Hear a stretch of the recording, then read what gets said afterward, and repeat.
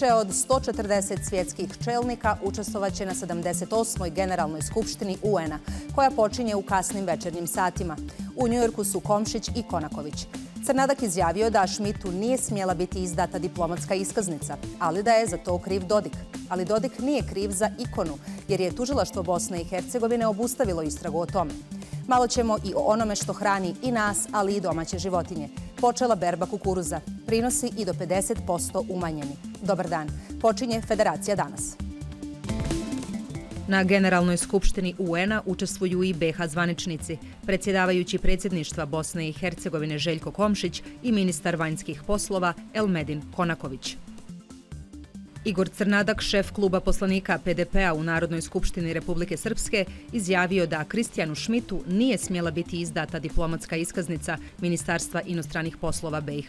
Gospodin Dodik, nikada nije uputio zvaničan dopis Ministarstvu inostranih poslova, niti je usmeno obavijestio ministra da Kristijan Šmit ne može dobiti diplomatsku iskaznicu. Počela berba kukuruza. Ratari najavljuju prosječnu godinu.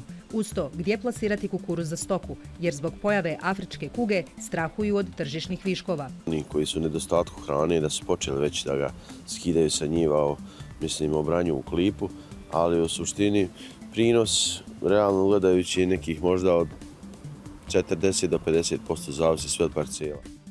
Gosti rezimea su Ahmed Kico i Rade Kovač.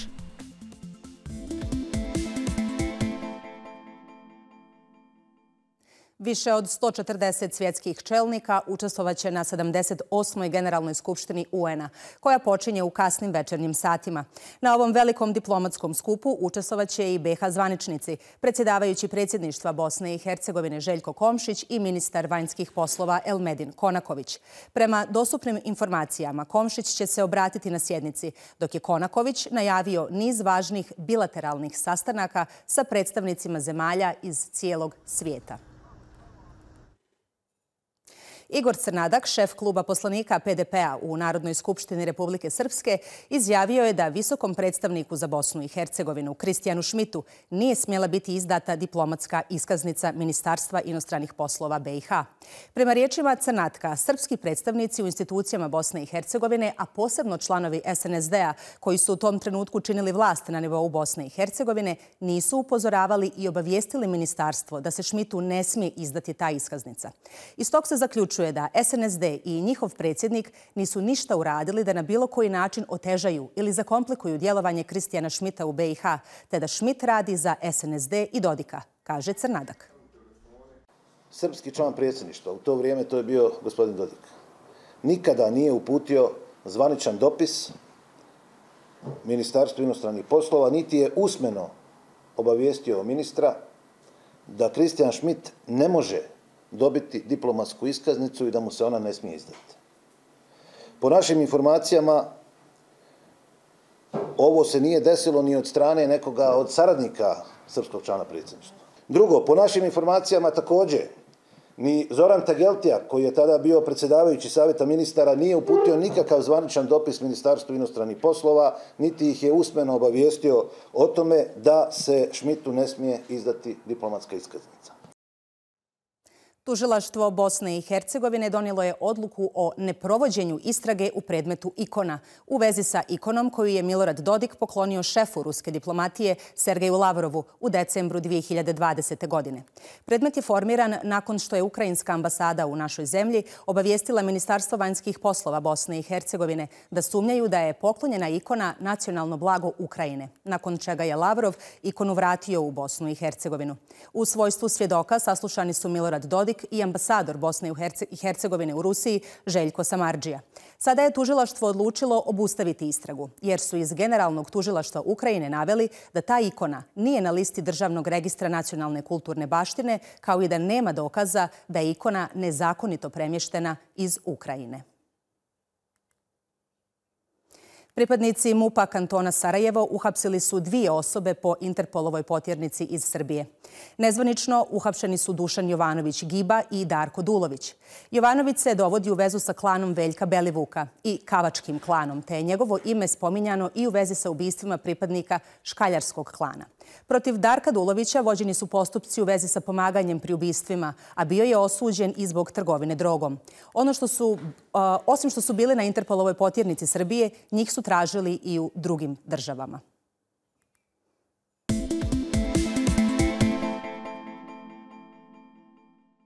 U pojedinim krajevima Bosne i Hercegovine počela je berba kukuruza. U najvećoj BH žitnici ratari ovih dana ubiru prinose ranih sorti, po čijem prinosu, ali i kvalitetu, već ocjenjuju da će ovo biti prosječna godina. Brine ih gdje plasirati proizvod. Zbog pojave afričke kuge strahuju od tržišnih viškova, a neizvjesna zarada uveliko dovodi u pitanje plan jesenje sjetve. U semberskim materima počela je berba ranih hibrida kukuruza, pod kojim je ove godine zasijano 26.000 hektara. Prinosi, kažu ratari, nisu loši, ali se cijenom se, kao i obično, kalkuliše. Vremenske prilike su već poslale da kukuruz ove godine je nešto ranije malo prispjeva i vidim da ljudi su po gotovo oni koji su u nedostatku hrane, da su počeli već da ga skidaju sa njiva, mislim, obranju u klipu, ali u suštini prinos, realno gledajući nekih možda od 40 do 50% zavisi sve od parcijela. Strahuju i od pojave tržišnih viškova kada je riječ o plasmanu kukuruza, s obzirom na to da je zbog pojave afričke kuge samo u Semberiji je eutanazirano više od 30.000 svinja. Mlinari navode da će otkupna cijena kukuruza biti definisana u skladu sa tržišnom, a očekuje se da bi mogla iznositi 25 feninga po kilogramu, što ratare dovodi u situaciju da odustanu od jesenje sjetve. Loša slika, jesen stiže, malo ćemo to kukuruza i tih plodova uspjeti ovaj, skloniti sa njiva, ali mislim da su ljudi razočarani kao proizvođači i svi ostali da jednostavno mi ne možemo ući u jesenju sjetu jer nismo spremni za to, jer svi faktički poslovali u minusu. Su Afrička kuga svinja je učinila danak da je jednostavno su svine pobijene i one su najviše jeli kukuruza šta reći na kraju krajeva, jako teška, loša godina, dosta ljudi će otkovati od poljoprivredne proizvodnje. E, mislim da, da realno ove godine gledat ću ja konkretno, a vidim da ima i veliki broj ljudi koji će gledati totalno da izbjegnu ovaj, proizvodnju pšenice ili sigurno da smanji za nekih 30-40%. Većina ratara preusmjerit će proizvodnju na uzgoj uljene repice, čija je cijena u ovom trenutku znatno isplativija. Mislim da, da realno ove godine gledat ću ja konkretno, a vidim da ima i veliki broj ljudi koji će gledati totalno da izbjegnu ovaj, proizvodnju pšenice ili sigurno da smanji za nekih 30-40%. Zbog nepovoljnih vremenskih uslova, ali i izrazito skupe proizvodnje koju ne prati visina otkupne cijene, te nepostojenje zaštite domaće proizvodnje, ratari Semberi upozoravaju i podsjećaju da je od poljoprivredne proizvodnje u proteklih 8 godina odustalo 12.000 proizvođača. Iz Mostara danas dvije priče. U prozoru Rami otvoren je tradicionalni sajam poljoprivrede, prehrane i turizma. Dani šljive Rama 2023. Opština Prozor Rama poznat je šljivarski kraj. Proteklih godina vremenski uslovi rezultirali su lošim urodom. Druga priča, Mostar za 14 dana dočekuje studente iz svih krajeva zemlje. Mi slikom idemo do Mostara i kolegice Adle Dizdar-Hođić. Adla, dobar dan. E, hoće li šljivari iz opštine Prozor Rama uspjeti sačuvati tradiciju uzgoja požegače ili će se pak okrenuti novim sortama? I što se tiče Mostara, e, s čime Mostar dočekuje novu akademsku godinu i po kojim cijenama? Pa na jednom od dva Mostarska univerziteta od e, ove nove akademske godine bit će na raspolaganju studentima i novi dom, ali o tome ćemo e, e, nešto kasnije. Kako si kazala, da, Ramski kraj poznat je po požegači sorti šljive koju nimalo jednostavno nije očuvati posljednjih godina, ali Ramci zapravo ne odustaju. Dakle, ne odustaju niti od svoje tradicije, ali uporedo traže nove sorte eventualno za uzgoj i uz pomoć općine dižu nove šljivike. O ovoj problematici, ali i, i općenito o danima šljive ove godine u prilogu Anite Zovko koja je taj sajam posjetila. Loš urod, ali ramci se ne žale. Bit će, kažu, prerađevina od šljive, ali i njihove poznate rakije šljive. Nažalost, struka još ne nalazi rješenje da se šljiva učinkovito obrani od šarke, bolesti koja ju iz godine u godinu neumoljivo napada. Onda smo iz općine pokrenuli projekt revitalizacije nasada šljive. Oni šljivici koji su propali, da tako kažem, pomogli smo da se obnove i krenulo je to od 2017. godine. U ovih šest godina e, preko općine, odnosno preko javnog poziva podzanja novih i revitalizacija postojećih E, šljiva na području općine Prozorama podignuto je ovaj, neke 40 43, 400 tako tisuća sadnica je zasađeno, imamo preko 400 korisnika. Riječ je o besplatnim sadnicama novih sorti, a idući projekt podjele trebao bi uskoro ponovno krenuti. No sajam nije isključivo vezan za promoviranje šljive, nego i drugih poljoprivrednih i gospodarskih grana, posebice turizma. Razvoj turizma jedan je od strateških ciljeva ove općine. Pokušavamo na jezeru jedan e, sportski rekreativni centar e, u projektu je već u dogovor sa nekim e, investitorima i mislim da ćemo na neki način osposobiti turizam. Pa tu normalno postoji planinski, pa vjerski turizam, pa ovaj, na vodi turizam, veslački centar postoji već godinama. Inače, Ramski sajam je prilika za brojne male obrte, udruge i poljoprivrednike da predstave svoje proizvode od prehrambenih do ručnih radova. Pa ovdje možete vidjeti razne prerađevine od voća i povrća, rukotvorine, pleteninu, rad, nalu, foliji, dekupaž, tako ono sve što žene rade svojim vrijednim rukama. Ovi sajmovi su onaj super za promociju. Nisu baš nešto za prodaju, ali su za promociju dobri za upoznavanje i druženje.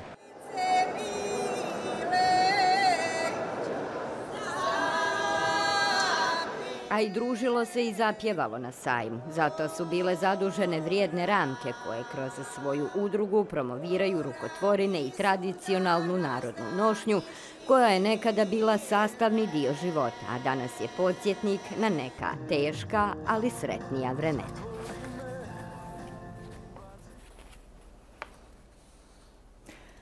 Visokoškolske ustanove u Mostaru spremaju se za novu akademsku godinu koja počinje upravo za 14 dana. I na univerzitet i na sveučilište dolaze studenti iz svih krajeva zemlje pa smo zavirili iza vrata tamošnjih studentskih domova da saznamo šta im se to tokom studiranja u Mostaru nudi i po kojim cijenama. Ovdje sve miriše na novo. Studentski dom u kampusu Univerziteta Džemal Bijedić upravo je izgrađen. Zove se Antalija, po jednom od glavnih financijera.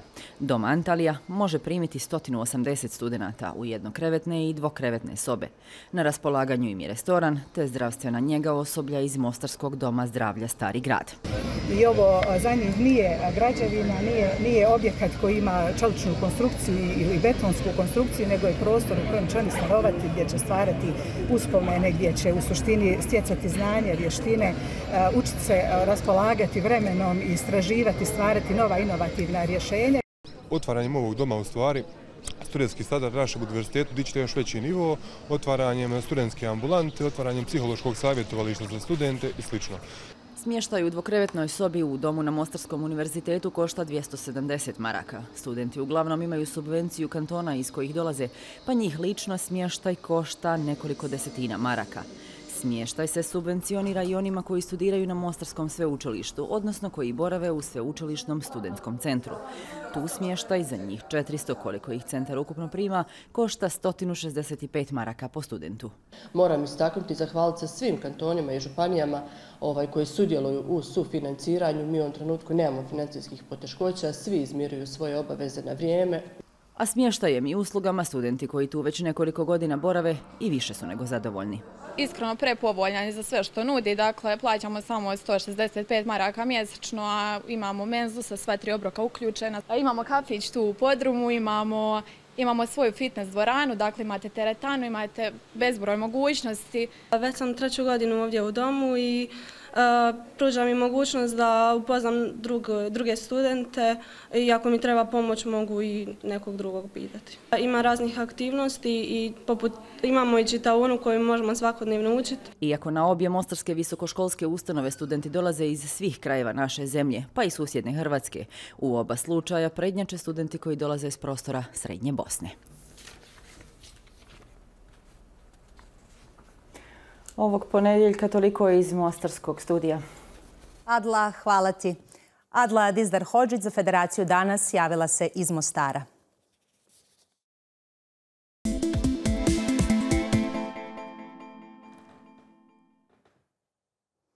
U emisiji možete pogledati i ovu priču. Udruženje porodice prijatelja djeca oboljelih od leukemije i drugih malignih bolesti od danas ima i svoju senzornu sobu. Ja sam Azra Bećirović, a u nastavku emisije pogledajte o kakvom projektu se radi.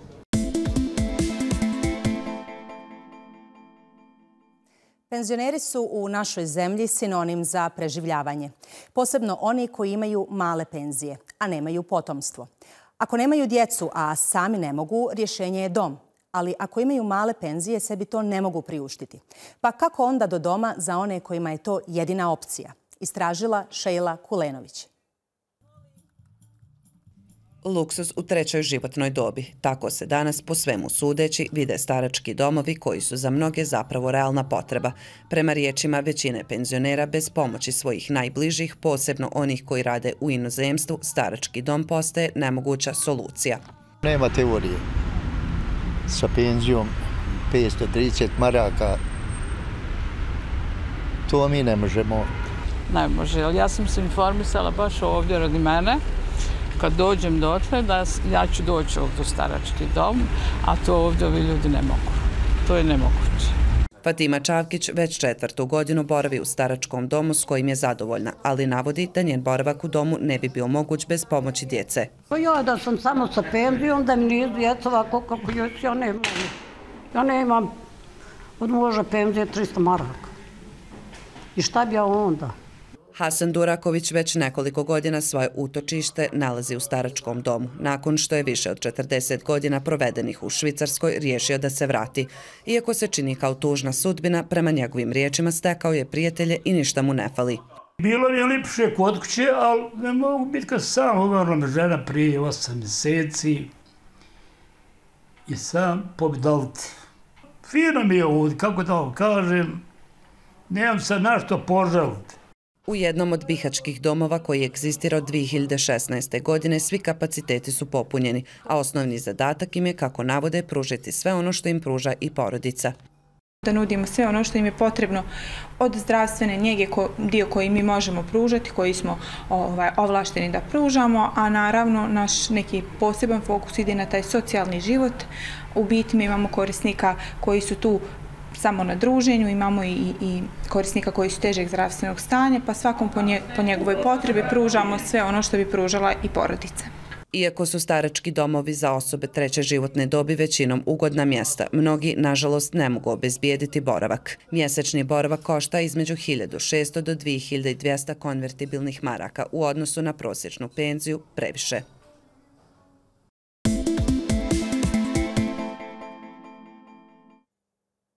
Senzornu sobu koja je bitna u procesu oporavka i rehabilitacije djece i mladih oboljelih i izliječenih od leukemije i drugih malignih bolesti od danas ima i udruženje People iz Tuzle.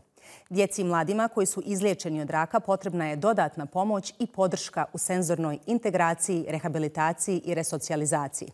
Senzorna soba trebala bi biti pomoć na putu kao poravku. Alma Puzić, majka je 20-godišnje Belme koju je sa 12 godina otkriven tumor na mozgu. Od tada Belma je u kolicima, a njena majka već 8 godina ulaže maksimalne napore da bi njena kćerka mogla imati što kvalitetniji život. Novotvorena senzorna soba dodatno će im pomoći u tome. Bitno je da se ostane pozitivno, da se ne gleda da je to kraj života, da je kraj svega, već idemo dalje, borimo se, baš sam ja tako doktor rekla, kad je rekao tri mjeseca i ostalo života, ja sam rekla, doktore, ja nju ne dam, a vi pričajte šta hoćete. Sa moje mamu sam završila školu, dolazim ovdje nekad, a podršku pružaju svi. Senzorna soba, odnosno multifunkcionalni prostor, u velikoj mjeri bi trebao pomoći djeci i mladima da uporedo sa svojom bolešću i borbom sa malignim oboljenjima imaju priliku da se njihova čula i osnovni psihomotorički razvoj formiraju u onoj mjeri kao i kod njihovih vršnjaka. Imali se priliku vidjeti i tu posebno osmišljenu e, senzornu oazu koja će pomoći našim mališanima koji imaju jako dugotrajno bolničko liječenje šest mjeseci do godinu dana, da se relaksiraju, opuste, da onako im pomogne da zapravo prevaziđu sva ta traumatska iskustva. Da je naša dužnost da naše najmlađe podržimo u njihovim nekim mogu slobodno da kažem, teškim trenucima kada su im potrebne neke stvari za ozdravljenje i veoma smo sretni zato što smo uspjeli da obezbijedimo ovu senzornu sobu da našim najmlađim, kako zove, pomognemo na putu ka ozdravljenju. Udruženje porodica i prijatelja djece oboljele od leukemije i drugih malignih oboljenja People i Suzle broji oko 150 članova iz svih gradova i općina u TK, ali i Brčko distrikta i dijela RS-a. Senzorna soba biti će otvorena 5 dana u sedmici, a tu je i neizostavan stručni kadar koji će biti velika podrška djeci na putu ka njihovom oporavku. Eko Hubovi pokreću uličnu kampanju za donošenje zakona o građanskoj inicijativi i zaštiti građana i aktivista u Federaciji Bosne i Hercegovine. Tim povodom Ekoforum Zenica organizovao je konferenciju za novinare na kojoj se između ostalog našla i tema o pokretanju naučnog istraživanja, ali i poziva građanima, volonterima da uzmu učešće u analizi genotoksičnog uticaja specifičnog aerozagađenja. Ekoforum Zenica od decembra 2014. godine pokušava provesti naučno istraživanje o uticaju specifičnog zagađenja na zdravlje ljudi. Ideja je potekla iz Češke, kada je istraživanjem, koje je rađeno prije 25 godina, dokazano da je kod osoba koji su izložene specifičnim polutantima, poput benzena, došlo do mutacije DNK. Mi zato ovim putem pozivamo građane Eh, uzrasta od 20 u dobi od 20 do 40 godina koji žive u Podbrežju i u Tetovu, dakle najbliže postrojenjima Koksare, da nam se jave popunjavanjem obrazca koji je dostupan na našoj web stranici. Obezbiđena su finansijska sredstva i putem javnog poziva izabrane akreditovane laboratorije. Uzimanje uzorka u kojem će učestvovati 40 dobrovoljaca ispitanika počinje u oktobru, a osobe trebaju ispunjavati posebne uslove, da su nepušači, da nemaju neku potvrđenu diagnozu i medicinsku terapiju. Ti rezultati također idu na međunarodnu provjeru kroz anonimne recenzije, tako da potvrdimo naučno, baš u pravom naučnom smislu, da imamo rezultate koji su validni. Koliko se to pokaže da ima veze, to je onda dokaz i za podnošenje tužbi i za podnošenje novih krivičnih prijava za one koji su trebali da smanje to zagađenje, a to nisu radili. Sutra počinje ulična kampanja za donošenje zakona o građanskoj inicijativi i zaštiti građana i aktivista u Federaciji Bosne i Hercegovine. Svakodnevno svjedočimo kako se tužbama ušutkavaju oni koji žele da sačuvaju čist zrak, zemlju, vode i šume. Vidimo na svakom koraku nepravdu koja kako u ekološkom, tako i u zaštiti ljudskih prava. E, mislim da je došlo vrijeme da, da, da budemo malo hrabriji bar mi koji smo ostali u ovoj zemlji, da pokažemo da smo zaista pravi patriote, da volimo svoju zemlju. To je strateška tužba protiv učešća javnosti, gdje se obično moćne korporacije koje zagađuju, da bi nekako zadeverale aktiviste da se zabave sami sobom, da odgode njihov aktivizam na dvije, tri godine koliko traju sudski procesi, oni ih tuže ili za klevetu ili bilo kakva druga tužba, da bi eh, mogli nastaviti da rade ono što hoće. Kako bi se pružili adekvatni zakonski okviri, akcija sa prikupljanjem potpisa građana počeće sutra u Sarajevu, Zenici, Tuzli, Mostaru, Blagaju i Maglaju uz solidarnu podršku ekoaktivista iz Mrkonjić grada. Cilj je skupiti 2000 potpisa, što je minimalni prag predviđen nacrtom zakona o građanskoj inicijativi i zaštiti aktivista u Federaciji Bosne i Hercegovine. U Brčkom su se prvi put okupili uzgajivači papagaja Tigrica iz cijele Bosne i Hercegovine, koji su ove godine osnovali svoj klub i djeluju u okviru Ornitološkog saveza Bosne i Hercegovine. Njihov cilj je proširiti i poboljšati uzgoj ove vrste ptica. Miralim Habibović iz Brčkog u svom dvorištu više od 10 godina uzgaja razne vrste pernatih životinja. To mu je omogućilo da se upozna i poviže sa ljudima širom Bosne i Hercegovine koji dijeli istu ljubav prije neki možda 12-13 godina sam nabavio prve tigrice. S tigricama sam i počeo, koji svako dijete što se zaljubio u malu lijepu pticu. Ona, evo sad trenutno u ovom dvorištu imaju i rozele i nimfe i tigrice, imaju dijamantski golubići, ima rozenkolis i fazan, ima razni vrsta ukrasni, životinje i perad. U narodnom periodu planiram proširiti, nabavljati još neke malo veće vrste papagaja što su malo rijeđe na ovim našim područjima ovdje. On je bio domaćin sastanka članova nedavno formiranog kluba uzgajivača papagaja tigrica iz cijele Bosne i Hercegovine, koji svoje ljubimce predstavljaju i na izložbama. Kod djeca sam uvijek imao neku ptičicu, nikad to ništa nije bilo ozbiljno, međutim 2017. sam nekad uzeo dva para, pa sam nešto na internetu gledao i krenuo u uzgoj, 2019. postao sam član, eto, dvije godine, sad će treća godina kako se takmičim na izložbama, ostvarim nekad solidne rezultate. Naš je cilj e, isključivo poboljšanje uzgoja i standarda rase, to je papagaja, tigrica koje mi je držimo. Želimo da se edukujemo, koristimo pomoć e, veoma cijenih, respektibilnih uzgajivača iz Evropske unije, e, literatura, sve. Na sastanku je razmatrano dosadašnje djelovanje kluba uzgajivača papagaja tigrica Bosne i Hercegovine, jedinog takvog u regiji, te su usvojene smjernice za daljnji rad također upriličena izložba i ocjenjivanje s ciljem pripreme za naredna takmičenja. Poštovani gledaoci, pratili ste Federaciju danas. U nastavku u vašoj pažnji preporučujemo rezime sa Nikolinom Veljović, gosti rezimea Ahmed Kico i Rade Kovač. Tema emisije o strancima u Bosni i Hercegovini sa sigurnosnog aspekta.